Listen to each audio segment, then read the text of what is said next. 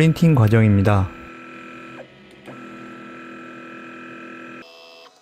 오늘은 기존에 쓰던 투명 레진에 녹색 안료를 섞어 보았습니다.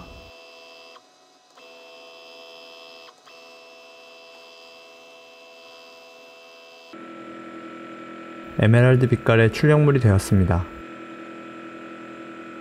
디테일도 훨씬 잘 보이고 관호광도 줄어든 것 같습니다.